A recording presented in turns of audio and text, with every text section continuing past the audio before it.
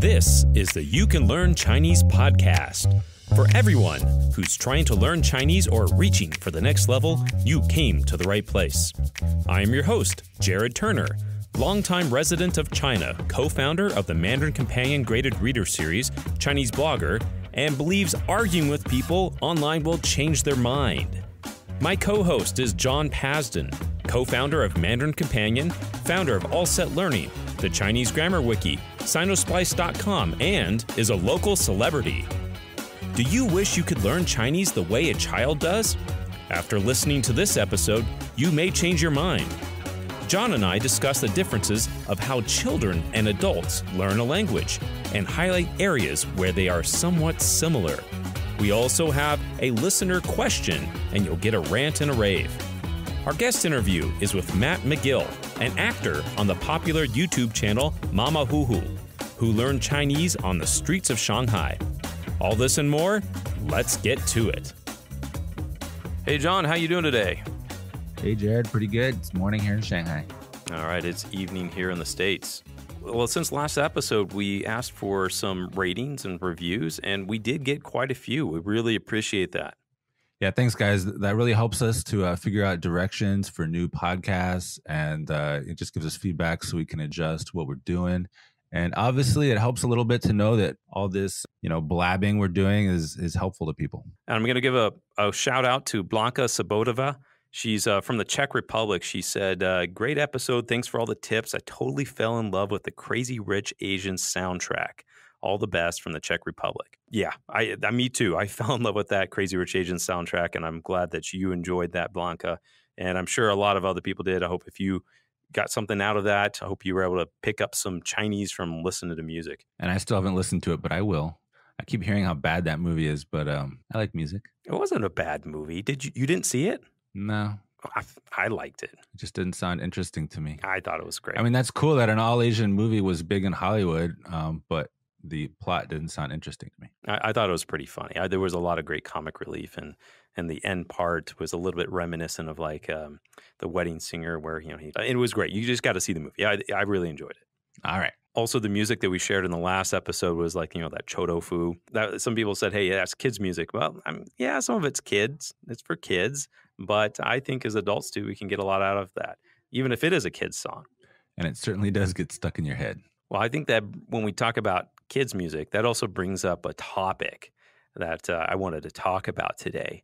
And sometimes we have people ask, they're like, "Hey, you know, can I just learn Chinese like a kid does?" Can I just kind of pick it up and and naturally absorb the language by just being around it all the time? Yeah, and I would say the answer is that in theory you can, but in practice it's very difficult, if not impossible.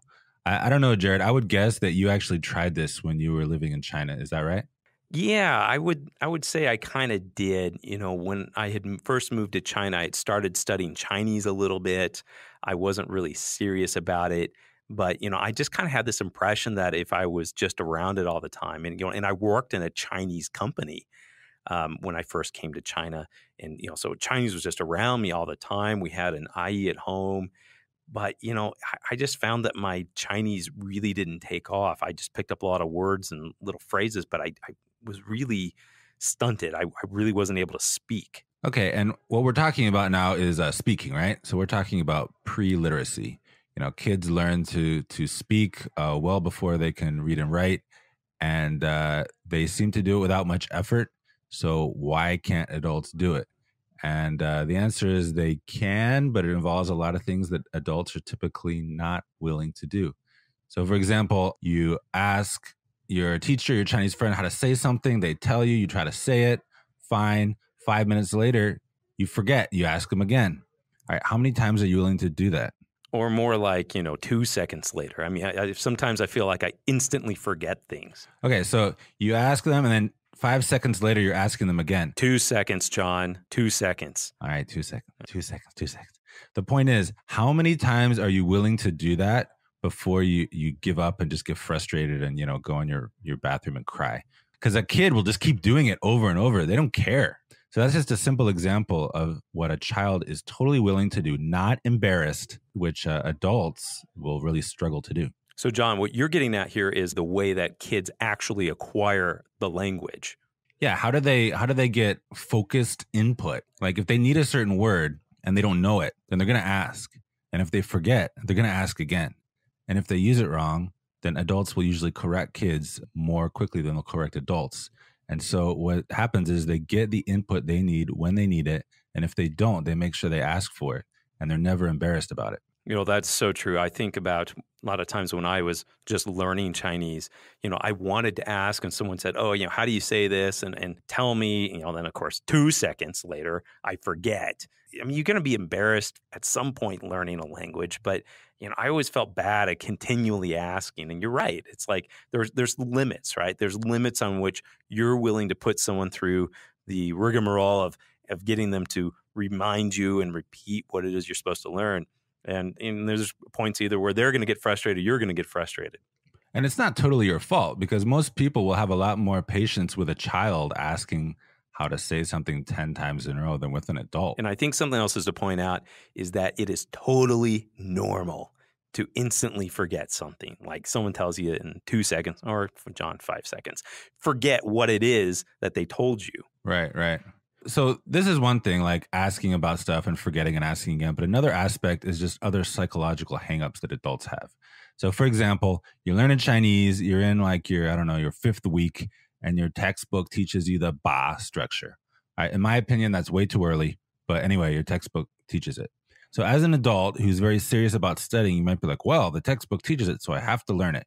And you just have this big hang up and you and it's really hard for you because really it's a you know a bit higher than your level, but you just keep trying and trying. But see, that's not what a kid would do. A kid would be like, What? That's boring. I'm not gonna talk about that. And, and they'll just immediately discard it kids do that, but adults don't. Another example that falls along the same lines is, you know, adults will, many of them will meticulously record every single word that comes up in their lesson, and then they'll try to make sure they never forget any of it, right? Kids do not do that. They're like, what do I need? All right, I'll use that. Oh, you taught me that yesterday? Oh, I forgot. Haha, I don't care. Adults don't do that. So I think what you're getting at here is that kids are really focusing on learning things that are functional and useful to them right now kids are ruthless pragmatists. That's what I'm saying. and they don't have a conscience when it comes to language acquisition, whereas adults very much do. They apply their work ethic. Yeah. So it's like, I, I learned a new word. I'm going to make sure I incorporate it in my conversation today. Yeah. And kids do that too sometimes. Um, but when they do it, it's because they want to and because it's fun not because they're like, oh, I better use this or I'm going to forget it, like motivated motivated by fear or something. So what you're talking about here, this isn't like something like it's okay for learners, adult learners, to do this, like to learn a word and try to use it. But the point is, is that that's not how a child learns. Right. And when people say, I, I want to learn like a child, they often don't really realize entirely what they're saying. Another way to put it is think of the way that adults learn languages. Typically, they start with a with a language class and a textbook. Can you imagine giving a child a textbook of all the things they need to learn how to say? like, oh, you need to learn how to say eat, and you learn need to learn how to say pee pee. Like a textbook for a kid is just ridiculous. You can't standardize that. Yeah, they just pick it up organically, right? Right. So, but with adults, we don't do that at all right? So the expectations are totally different. And the thing is, adults are a lot better at some things. They bring advantages to the language learning table, but they're also a lot worse at, at some things. And it's, for the most part, psychological. Well, what are some of those differences? I uh, mean, like, what are adults good at? Yeah. Okay, so understanding grammar. Kids do not understand grammar at all. So they just need tons of examples, and then eventually their brains kind of unconsciously figure out the rule and start applying it. But it takes a long time. Whereas adults, um, especially if they have some understanding of grammar, you know, things like tense or, you know, gender or all these other grammatical concepts, they'll be able to apply them much more quickly. Uh, maybe not entirely accurately, but, you know, kids make tons of mistakes too. So typically, um, adults, at least in the beginning, they'll make fewer mistakes right after they learn the grammar, whereas kids take a long time to just kind of sort through it. Yeah, that makes sense. On my five year old right now, he says, Dem has this, you know. I'm like, well, it's they have this, you know. I mean, but it's it's them, you know. And you're right. If we had an adult, they would probably pick that up. I mean, they'd probably still make a mistake like that, but it's easier to make that connection with them. Yeah, and I think adults also forget how often kids make mistakes. Like kids are making mistakes left and right.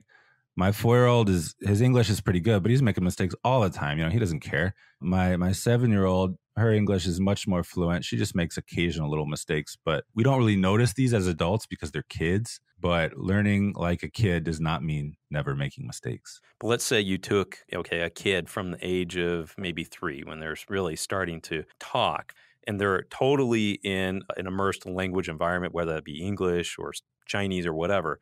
But now you take an adult and you put them in that same immersive environment but also with other study materials and support, I would venture to think that the adult would actually end up making more progress in that type of environment than a child would. It's possible, but it really depends on the adult's attitude. So if they're totally down with it and they're just like, okay, you guys can't speak any English to me, you don't even speak English, and it's going to be frustrating, but I'm going to get through it. Like if they have that kind of attitude, then it'll work. But a lot of adults would be like, how do you expect me to learn this when you won't tell me what it means in English? You know, and that doesn't work. And obviously, kids don't do that. Yeah, they'll just struggle through it or just figure it out or just not understand and give you a look and walk away, right? yeah. And one of the things that adults forget about kids, like, why are kids so good at learning languages? Why are they so patient? No matter how many times they have to ask, no matter how many times they forget, they just keep going. Well, it's because they don't have a choice. They're getting their first language they they've never learned another language so they don't know how long it should take. They don't have another language that they can ask someone to translate for. Um, they have no choice. And so to them it's just existence. It's not like oh i gotta work hard gotta gotta acquire this language. You know they just have to. You know with our interview we have for this episode with matt mcgill he talks about his experience actually doing this because he didn't go through any classes or anything like that. He just self-studied and learned chinese by himself on the street making mistakes over and over again. And he talks about you'll well you'll hear it in the interview, but you know he come out with his something he wanted to say like every day, a sentence or whatever, and he'd go out there and say it, and people would try to understand what he's saying, and they're like, "Oh, you mean this?" And uh, then like, "Oh yeah," and he just do that over and over and over again until he get it and get all these different sentences in his head. Right. And I think that's great. Like it's not that um, you shouldn't try to learn like a child. There are some things that you should try to do. And if you do it, you will acquire the language more quickly. Uh, I think I did a lot of the same thing, just talking to people, not being embarrassed, asking all kinds of questions. Like I would ask questions that I didn't even care the answers to, just to ask more questions and to speak and to hear what they might say. I think one thing that's interesting is that kids often say things that are just like, why are they even saying this? My son will say things to me like, Daddy, it's daytime. It's like, yeah, I know it's daytime. Um, but maybe he never said that before, right? Hmm. And after he said it, you know, he's got that practice and it helps for me to be like, yeah, it's daytime because, you know, he got the confirmation. But a lot of adults won't say things like that. But the more you're willing to make yourself look a little silly, make mistakes, say things you might not normally say, but are still fairly simple and important, then the quicker your progress is going to be. And that also fits in, I think, with different personality types. For example, you know, I share that Matt, you'll hear his story. He's very outgoing. He describes himself as a performer and he's an actor, you know, so he's just constantly putting himself out there. But that doesn't always work with everybody. Some people just don't feel comfortable doing that. But if you do, I mean, that's, that's a great way. And, and also, even if you are willing to do that, you may not be in the type of environment to do that. Yeah, yeah, that's true. That actually really resonates with me because when I was learning Chinese, when I first came to China and I was living in Hangzhou, I would kind of try to play a role. I would be like, you know, I'd pretend that I was outgoing and I would and I would act like I think an outgoing person would act. And it really worked. Um, I got a lot more practice. But I have a friend named Matt from Australia, and uh, Matt's Chinese accent is amazing. And what he told me he used to do was he would approach Chinese kind of like like a comedian doing an impression. Like he tries to mimic every single speech pattern, every little motion, and every little twitch or whatever that a native speaker has. His Chinese was really good. In fact, it was so good that it wasn't very standard because he was mimicking his wife's Anhui accent too much. oh, wow. Yeah, the performance aspect, whether it's just a personality thing or whether it's like you know the actual way that you talk the way that you move your mouth it does really help so just even repeating what you're saying just repeating what other people are saying i mean that's valuable because if a chinese person is saying it the chances are it's probably a standard mandarin thing to say Right. But the thing is, I find that when people repeat things, they don't totally try to sound exactly like the other person. It's like, I'll repeat what you said, but I'll do it like normal for me. But why not try to repeat it exactly like they say it? Mm. I don't think we usually do that. So you're suggesting that's a better thing to do it like that? Yeah, for the most part. Like, unless they're yelling at you. or maybe you do want to yell back. That lays into the other thing of, you know, if you're reading something and it's written in standard Mandarin, and if it's dialogue, a script, novel, whatever, the chances are that, you know, what you're reading, especially if it's been published in, in print form, it's probably some standard Mandarin that you can actually just straight up repeat. And that gives you more words and more you know ways to say things and you know it may give you sentences that you hadn't thought about how to put it the chinese you know, all together i mean you may know the words and you may know all the characters but you know maybe you didn't actually think oh this is how a native person would speak yeah, it's definitely useful to have like a whole bunch of lines at your disposal that you can just spit out whenever you need them. It doesn't take care of every situation, but it's definitely helpful. It's kind of like a toolkit. Actually, this reminded me of another thing that my son does.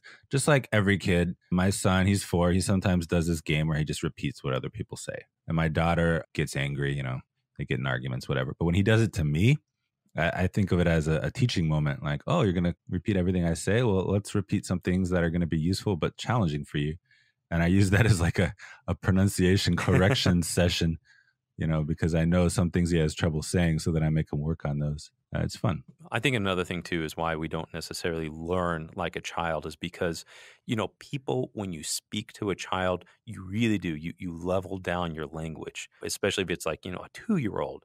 I mean, you're not going to be talking about the the latest treaty on nuclear disarmament or anything. You're going to speak at something that's practical to that child at their level and you know if you use big words or you use a complicated idiom or something like that, they're just simply not going to understand you. But as adults, a Chinese person doesn't speak to an American or a non-Chinese speaker like that. Uh, it seems like that is an acquired skill, especially when I'm speaking English to a Chinese speaker and maybe their English isn't great. You know not to use complicated words. You know to actually make your conversation, the words, everything you're using much more simple but you don't always have Chinese speakers who have developed that skill to speak very simply to you as an adult. Right. So what what you were first talking about that kind of baby talk is called motherese or mother speak. That's been studied by linguists, and there's a very specific way that native speakers talk to their children to facilitate their acquisition of language. For the most part, native speakers don't usually apply that to non-children.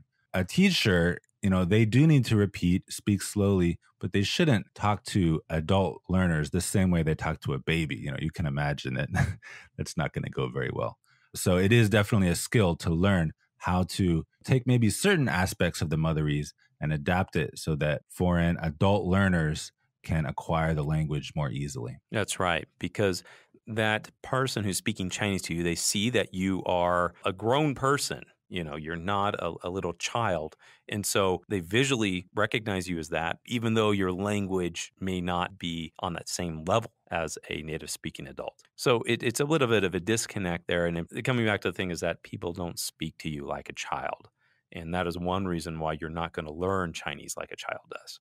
But if they did speak to you like a child, there's a good chance that it would drive you crazy pretty quickly because uh, you're not a child.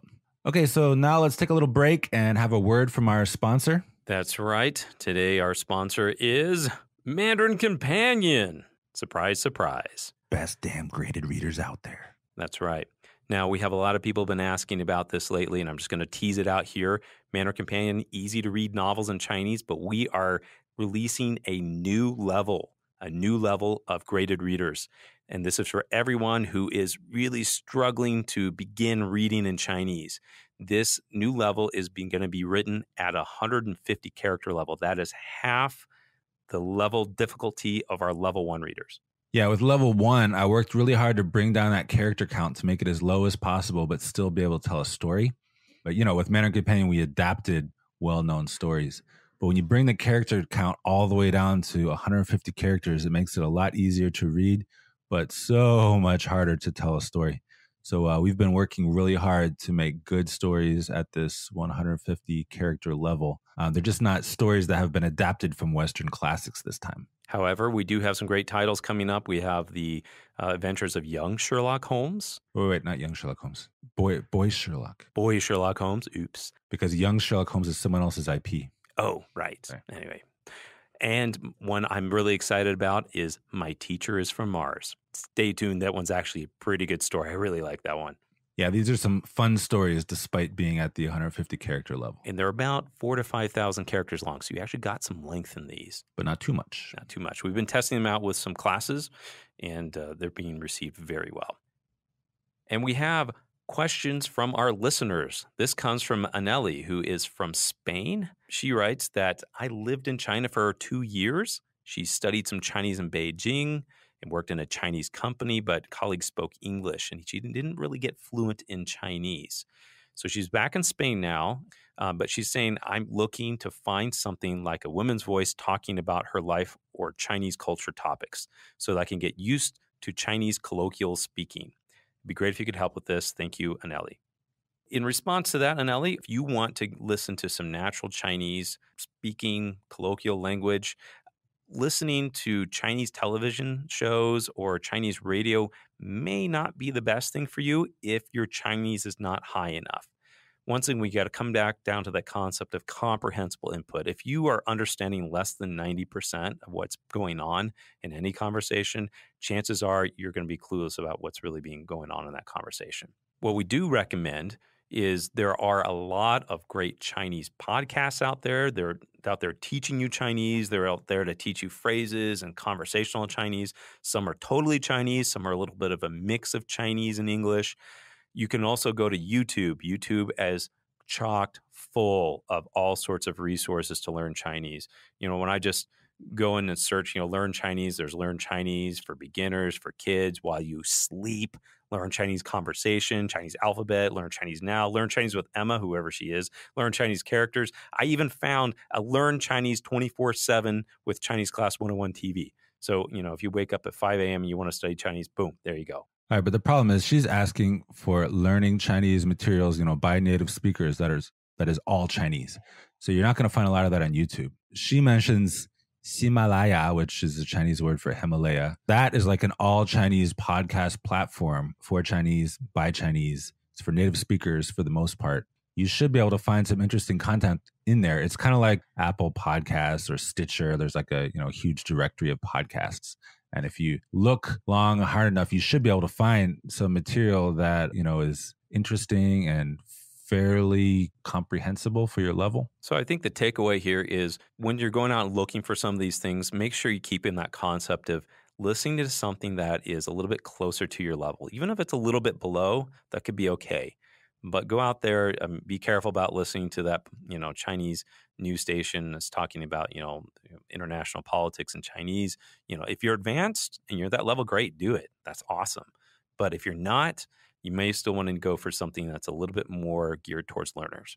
Also, we want to hear from you guys. Find us on iTunes, write us a review. We'd really like to get that feedback from you. Any every review that is written, it helps other people hear more about and learn more about our podcast. We appreciate it. And if you have a question for us that you'd like for us to answer on air, please email us at feedback at mandarincompanion.com or also go to our website. You can find us there. You can go to our Facebook page. Anywhere you can find us, email us. Let us know if you have a question you'd like for us to address. We want to hear from you.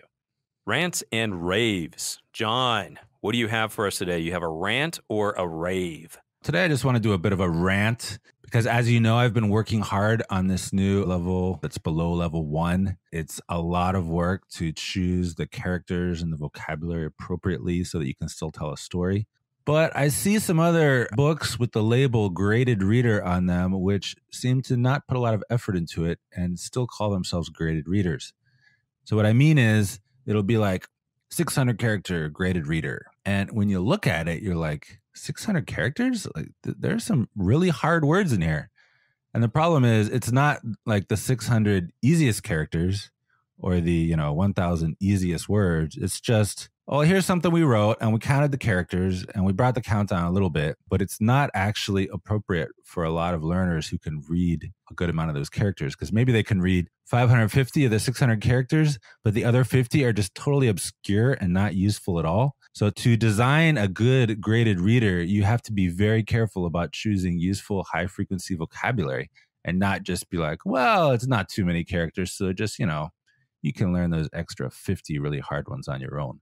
Like that's not what a graded reader should be. You know, and really a lot of those when it's not just an extra 50 usually. See, that's a slippery slope, right? You're like, oh, we'll just add in a couple characters here you don't know. And before you know it, that book's got like, you know, 100, 200 characters in there. Yeah, and it's true that it is simpler than um, the average article you'll find just by searching online, but it's not a true graded reader. Like a true graded reader works really hard to keep the the vocabulary and for the, the case of Chinese, the characters at a low level, and then for the words that they know are a little bit harder, then they work hard to repeat those so that you can actually pick them up in context.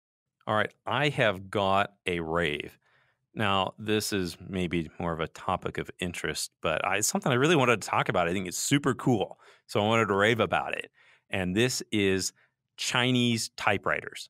Yes, I said Chinese typewriters. And no, it's not a typewriter where it's got 3,000 keys on it. A Chinese typewriter, these things were made in the early 1900s. Really complicated things. I'll actually put a link in the show notes for this one. But specifically, there was a professor out of Stanford named Tom Mullaney. He's kind of like this expert on Chinese typewriters, but these things are really interesting. The old original Chinese typewriters, they did not work like you would think, like we're sitting down uh, typing out like words or anything. In fact, in those days, they didn't even use pinyin. It actually has like individual characters that are like uh you know slugs that are set in like think like a printing press you know they have you actually put like the letters and words together well they have individual characters on these things and you go around you move this thing you use the right hand and left hand move it over the character hit the button and go boom so when you're typing with a chinese typewriter it's more of like boom boom you know and someone who's like uh, typing very fast might be able to type like 80 characters a minute it's really interesting. Uh, if you guys want to look into this, I thought it was just a really cool thing. It's really scientific, you know, how where they place the characters in. Some of these things you could move out different characters and put different characters in, depending if you're like a lawyer's office, you're using different characters versus like uh, someone who's just writing about government things or whatever. So it, it was really cool really really interesting thing uh, there's a like a link in the show notes if you want to learn more about it some videos showing like how they actually worked but yeah, so Chinese typewriters, believe it or not, were a real thing. The funny thing about Chinese typewriters is if you were using one of those to write a graded reader, then you would have a, a, much smaller set of characters that you would have to type. But to write something that native speaker adults want to read, um, obviously it takes a lot more characters. You know, it makes me kind of wonder if we inherited some of the limited character set that we have today in Chinese as a result of the Chinese typewriter. I doubt it. Well, do you know? Maybe one of our listeners can, you know, let us know about that. I don't know. All right. If any experts out there on Chinese typewriter, if you're listening, let us know. We want to hear from you. And if you have an extra one lying around, send it to Jared. He wants it. What a great little office this is. I don't know you viewers can't see this, but this is cool. That is Matt McGill. We sat down for an interview in our Shanghai office. He moved to China over seven years ago from Scotland. Now I'm from China, it seems. Some might call Matt a Scottish version of Harrison Ford. He's an actor who started out as a carpenter. And today, he and his brother head up the most popular YouTube comedy channel in China called Mamahuhu. One thing that makes Matt's story unique is that he learned Chinese by himself, never went to a day of class. Stay tuned. My brother's always been a very film orientated guy, always had a camera in his hand, so we decided we would start doing videos here. That became a business, and then it also became a, a great hobby. So we started a show called Mama Hoo, which is becoming more and more popular here in China, especially Shanghai. Well, we describe it as being a kind of a bridge between between cultures. It's kind of you laugh at both sides. Nobody's ever the victim. Everyone gets to laugh at it, Chinese or foreign. And we just try to point out those things that always come up, you know, the classic issues of being a foreigner in China or Chinese meeting foreigners, that kind of thing. Well, I love your videos. We've actually mentioned them a couple times on our on our show here. Thank you very much. Well, Matt, I want to hear a little bit about your story about how you learned Chinese. Even tell us about your story about coming here. How did this all come together with a confluence of where you now are a Chinese speaker? Wow, that's a very interesting. That's an interesting story. My original plan was I was going to go through China, check out China, and go to Australia to work there because I was, a, as I said to you before, I was a carpenter, and uh, I heard that Australia was paying big bucks for carpentry, so I was on my way there. Hmm.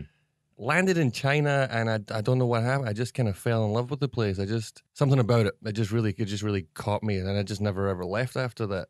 Did you speak any Chinese when you came here? Not a word. So my one of my first group of friends here were a bunch of Americans, and they were all very fluent in Chinese. We used to go to bars and things like that, and trying to talk to any kind of girl and you're trying to use your English or maybe one word of Chinese that you've learned over the years, and you just can't you can't get the message across, and in swips your American friend with his fantastic Chinese, and this this just really got to me. It got to me at a level that drove me to want to learn how to speak this language, but not enough that I wanted to take classes. Strangely enough, so I was in this kind of weird place where I want to know this language. I want to know how do you do this language, but I also don't really. I can't. I can't do the class thing. I, I just since I was a child, I can't really take knowledge in that way. I, I, get very distracted in class. I was always a bit of a class clown, as they call them. I, I, am not sure I believe that.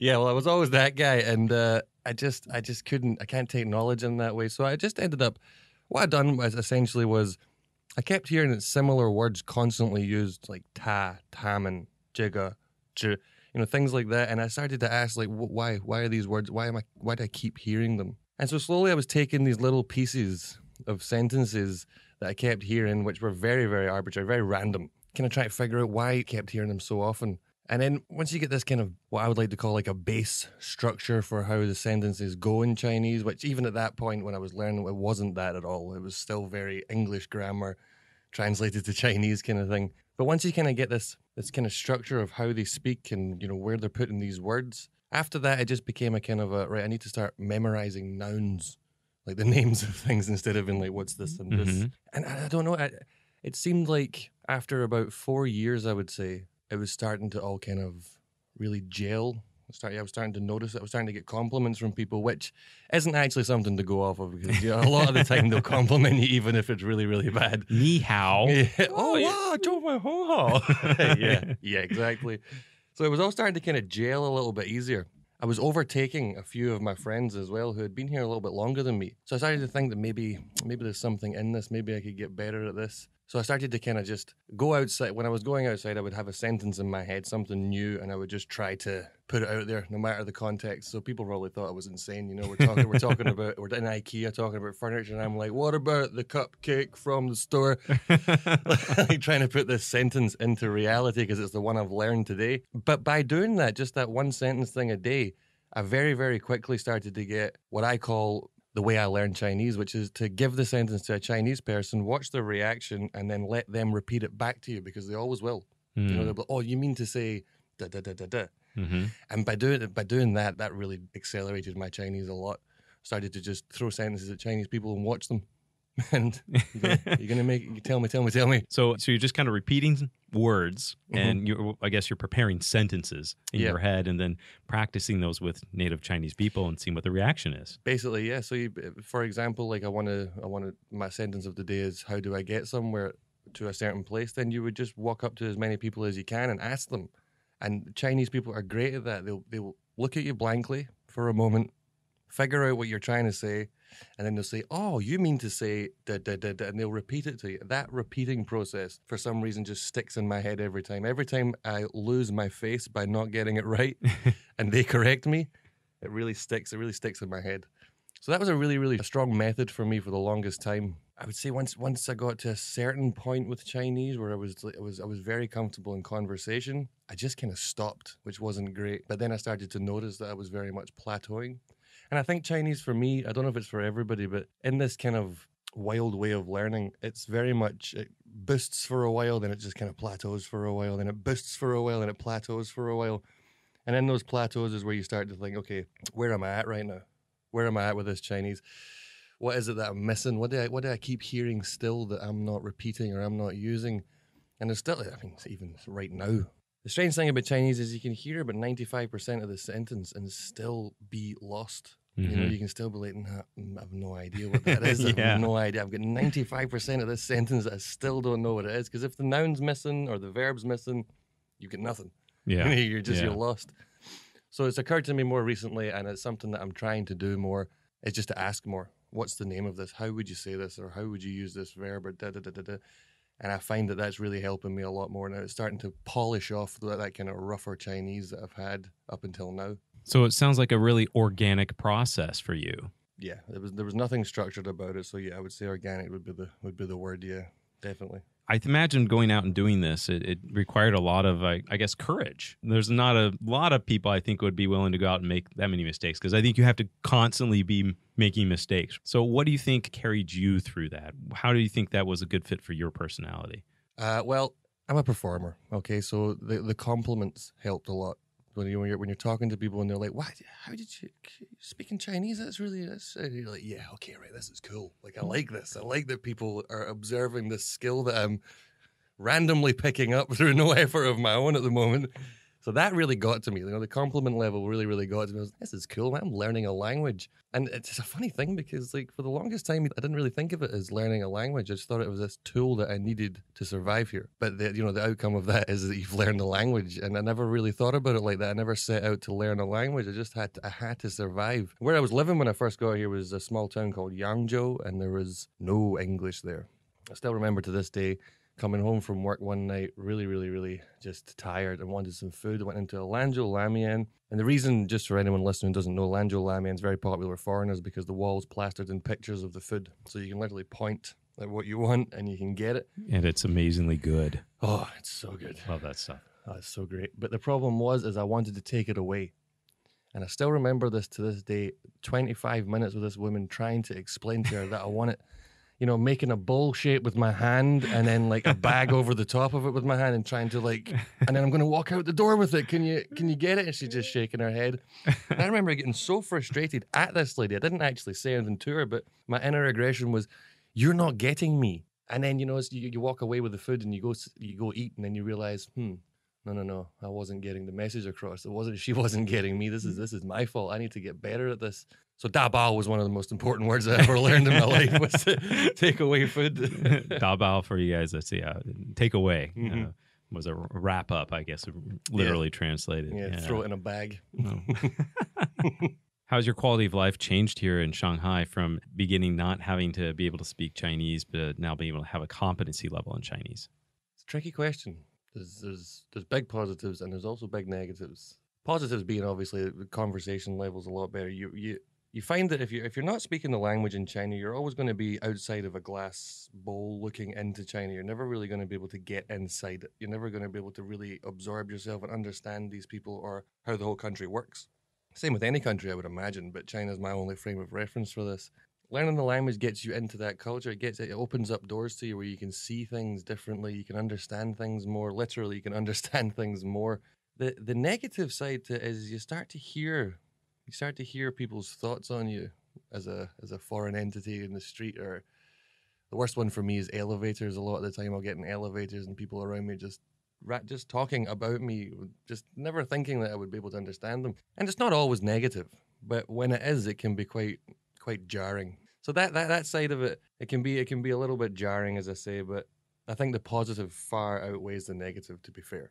And also this the fact that put on a while like chinese is it's it's a it's a really, really beautiful sounding language when it's used correctly. You know, when it's when it's spoken well, it's it's it's stunning. It's a really, really interesting, intricate language. But you very seldom hear that here, do you? You're often hearing these local these local dialects of the language. I don't know if your if your listeners know that, but like even in Shanghai alone, it's separated by I think maybe two or three variations on the Shanghai dialect all very quite unique from each other. Mm-hmm. And the further out you go, each city has its own dialect, and it gets it gets crazier and crazier. An old lady from Shanghai would find it difficult to converse with an old lady from Beijing I always find that very interesting. For such a large population, the idea that intercity communication was once maybe, or maybe still is a bit of an issue, it's, it's, it's an interesting concept. You guys have started this YouTube channel, Mamahuhu. Well, I gotta say, one of my favorite videos is uh, that you're in is the one where you you got an outfit like a street sweeper. Uh, you're you're working with some of the street sweepers, trying to help them clean up the streets and stuff. oh god that was from the prank era that was one of the nicer pranks that was actually that was a real pleasure to do actually and the lady was just so happy to have the help. So you're coming in there just speaking Chinese, or I, I forget what you were saying, but you're like, you know, hey, uh, you know, I'm I'm ready to work or something. Yeah, I think I came in and said, uh, hey, I'm, I'm here to help you today, and she's like, who sent you? I said, oh, your boss told me to come down and give you a hand today. It's a really long street or something like that. Let me help you clean it up. Uh, she was great, actually. And I actually see that woman still around when I go through uh, Jiangsu Lu, uh, Jiangsu Mhm. Road down there. I sometimes see her still to this day and stop and give her a little hello. How's it going? I think I think she remembers me because she talks to me, but I don't really. We never had a conversation about it, but I think she remembers me. That's a good example, I think, of even being able to speak Chinese. Some of the skits you wouldn't be able to do if you didn't have Chinese. Yeah, this is very true. My my, my personal all time favorite one was when I played a I played a Shanghainese security guard for one of them. It was called the Laowai Baoan. Still to this day was my all time favorite. It was just it was so great. It was actually a comedian Drew Fralick that done this uh, this this whole bit on stage, and we saw it and we said we have to make this a video. You're this is hilarious, and he wasn't too comfortable with the idea because it was a Baoan's uniform on Uh-huh. camera online. So you guys, for uh, Baoan is like a security guard at like a gate. Should have explained that. Yeah, it's just a security a gate security guard. so yeah. it's the foreign security guard. Yeah. Yeah, so he wasn't too comfortable with wearing the uniform, and so I just jumped on it. I said, "Well, I'll do it. Is that okay if I do it?" And he's like, "Yeah, sure." So I did it. It was, was a lot of fun. It was really, really fun. I, I haven't seen that one. So tell us about it. What? So it's basically uh, my friend Andy's a foreigner walking down the street, comes and asks me directions somewhere, and then we just have an interaction. And you're in a Bao An outfit. I'm a Baoan. I am. I'm literally a Baoan. You're and, speaking Chinese or English? uh, a mix of Chinese and Shanghainese mixed together. and the way the script was written was beautiful because it's exactly how these people, these these security guards treat you. You know, it's just so. Where are you going today? Why are you going there? Have you eaten today? Are you married? How many kids have you got? How much is your apartment? How much money do you make per month? Wow, I mean, that sounds really, really nice. There, you know, that sounds not bad. And every time he's like, "Look, where is this street? Can you tell me?" And I keep getting distracted and offer him cigarettes and just keep talking to him and keep him going for the longest time. And then in the end, he's like, "So where's the street?" And I'm like, "I don't think that street exists." And that's how it ends. it was just, it was so much fun to play out. I actually went to, uh, I don't know if I should say, but I went to uh, another Chinese school to get a little bit of Shanghainese from them, just like how to how to pronounce these words a little bit better. And I went there, and the guy just gave me 15 minutes of just telling me that they say it like this because of this reason, they say it like that because of this, and it really helped. Hmm. My wife is Shanghainese too, so I was taking what he said and taking it back to her and trying it with her, and she was like, "Nope, doesn't sound anything like Shanghainese. nope, try again. Nope, nope, nope." But then I do it, I do it on- the camera, and a lot of people saw it. They they recognized that it was there. For the listeners, Shanghainese is a it's a totally different beast. Yeah. It's- it uses a whole Yeah. different part of your throat. The way the way they talk, it's it's entirely it's ungraspable. In fact, for the for the average guy, so that's why I couldn't do it. Yeah, it's it's. m- I think from what I understand, the tones are even more critical than in a, Yeah, it's it's it's when I hear them speaking to each other, I just honestly believe in my heart that they don't understand what they're talking about either. There's no way you heard that and you took a message from that didn't happen. No way. Fake news. I could be wrong though. An example that I always use for people who are asking about it is I'm from Shanghai, 我是上海人. for them is wusisang Henning, which is just mm-hmm. wildly different. It's a different pronunciation. It, they actually use different characters when they're typing as well. Oh, Completely I didn't realize different that. characters. I didn't realize that. Crazy. Well, tell us, Matt, how did you learn characters? That that was definitely a very very sneaky slow process that just kind of came with. It was like a byproduct of learning how to speak, and you can write it in the pinyin, the English, letters to spell out the phonetic sound of Chinese The pinyin. pinyin. Yeah. Yeah. So I was using this on my phone while talking to people, just writing in pinyin to them, Mm-hmm. and they would reply with Chinese characters. I Mm-hmm. would then take these Chinese characters, put them into another app, translate what they said, and then reply in Pinyin. This was the kind of system that I was working with for a really long time. And now thinking about it, I really feel sorry for any Chinese person talking to me at that time. They must have been like, what is going on? there was no tones or anything written above it. It was just, you know, English, Straight pinyin, right? yeah. basically English. And just weirdly, you start. It's just the same as when I was when I was listening to Chinese. You just start to see these repeated characters constantly used all the time. Wo, ni, ta. These these these just so common words. And then again, because you know how to speak it, you start to see the structure laying out in front of you through the through the sentences. And again, the big gaps of the verbs and the nouns because you don't you're not memorizing them, but you are constantly hearing these these other words in between. So it was just a case of over a long period of time recognizing these repeated patterns in the in the characters and then reproducing them essentially. The funny thing about it is is that I can read Chinese off of a phone. I can type and reply back to them again, but I cannot recall the character in my brain. Like if you ask me right now the character for Wa, maybe Wa I could do. I could I can almost kind of see how it goes. Like writing it, you mean? Yeah, to physically write write, it. yeah. Just that recall from your brain to bring the character to the front of your head, see it, and then draw it out.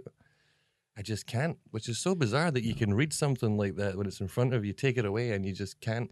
Actually, that's pretty normal. Is it? That's very normal, yeah, because learning to handwrite it, it's an entirely different skill. So, so a lot of learners, they, they think, oh, well, I should read, I should learn to write too. But you can become fluent in speaking, fluent in reading, but being fluent in writing is also an entirely different skill. So I wouldn't feel bad. It's just that same type of thing as sometimes we, we can say a word in English, but we're not sure how to spell it. Like, Oh, that's a very good way of putting it. exactly, like automatopoeia. I, I could probably, you know, we'll, we'll try Starts with it. an O, right? There we go. Ending with an A. We don't know that much. I can say it, but I'm not sure how to spell it exactly. That's I'm probably going to get it wrong, you know. That's a very good way to put that. Yeah. Yeah, so I, I wouldn't beat yourself up about that. My other argument as well is that we're living in a, a day a day and age now where I'm very seldom putting pen to paper anyway in English or Chinese. So typing will do. yeah. It will do. It'll do for now. I always tell people, I said, learning to type in Chinese, fantastic. Do Mm. it. Learning to handwrite in Chinese, well, it's take a lot of work. So Yeah. It's just it just seems like it's the it's the last piece of the puzzle though. You know. Like Mhm. we've come this far, you know. It just it would be cool to be able to just kind of jot down. I remember my my Australian friend Tim. We were in a meeting once, and he was looking at the person talking and writing th- what they were saying in Chinese without looking at the paper. wow. And I was just looking at the paper the whole time. I wasn't even focused on what she was saying. I just couldn't believe this guy could do this. But he was, he'd studied here, just straight studying Chinese for 10 years, nothing else, no other distractions. So he was right up there. Like he was all of it. He could do it all. And that always amazes me. That's a pretty high standard, though. Yeah. It really amazes me. Though. It is amazing. I mean, even when I see children, Chinese children, writing and using Chinese and interacting with the Chinese language, I still think just wow, because it's so it's so big. It's just a huge beast of a thing to try and comprehend. Well, uh, if you see the amount of homework they have to do, I had kids in Chinese school, so it's uh, yeah, yeah, Yeah. But it takes a lot to keep that up. But yeah, I wouldn't, I wouldn't worry about that too much. Yeah, I remember when I was learning Chinese, I found back where you're doing QQ days. Perhaps this happened with you, but simply typing out the pinyin and seeing the characters come up, you're like, I guess that's it. I'm going to select those. And Absolutely, yeah. you- So you're actually letting the technology help you out there a little bit because you write in the pinyin, it gives you a selection of maybe a thousand different characters, but it's usually that first to third one that's Mhm. going to be the character. And if you just have, if you have enough in your head that you can recall what it kind of looks like, you can select it. Well, tell me about uh, did you have any breakthrough moments that you can think of where sometimes you were out there trying to use your Chinese and all of a sudden you just had a breakthrough moment or something really clicked in your head? Honestly, every time I'm drunk. every time, which is not very often. You know, I'm, I'm quite clean these days. Yeah, I- I've always found with uh, I don't know if it's the same in every language across the world. Again, this is my only frame of reference, but as soon as you get a couple of beers, it just it just all loosens. And I'm not sure to this day whether I'm actually speaking better or I just feel I'm speaking better. but it's definitely what you what you said there that breakthrough that like no hold barred anymore. You're just speaking, trying to get your message across instead of processing in your brain how's the best way to say this. You're just letting it flow out. So they're big breakthrough moments, and I do actually learn things from them. I have. I've had I've had drunken nights where I've said some things and just been like, "Wow, where, where did that come from?" I'm gonna I'm gonna try and remember that. As far as sober breakthrough moments, I've had moments where I've surprised myself. Vocabularies came out of my mouth, and I've immediately thought, "Now, where the hell did I learn that word?" You know, just out of nowhere. Especially working on film set when you're translating for a foreign director or something like that, and he asks for a specific thing, and just just so weirdly in the moment, it just comes from it just comes from nowhere. You're just actually yes, I do know how to say that, and then you it, it just comes out. I find that quite unusual. Can't remember any specific words to give you an example, but just words that I would never genu- gen- generally use Mm-hmm. Just appear in your brain out. some, somehow. Maybe you've heard somebody say it in a classroom once or in a different situation. It's just kind of stuck there for some reason. The brain's incredible. Let me tell is, you, it's an incredible thing, especially with language. What are some of the hardest times you've had in learning Chinese? the early days, day to day stuff, just the frustration of, man, I, I know what you just said to me and I have the answer for you. I just can't alliterate it. And you start to feel like I kind of, I don't know where the frustration comes from though, because you know yourself, you know your capabilities, you know that you're only so good at this language. So you shouldn't be surprised that you can't, you can't do this. But I can remember a few times people talking to me and maybe I, I know exactly what he said to me all I have to do is reply to this, and I just I can't get the words out. I can't find the word, or I'm saying it wrong. In fact, I, have got one that trumps that completely. One that beats that completely is uh, taxi drivers.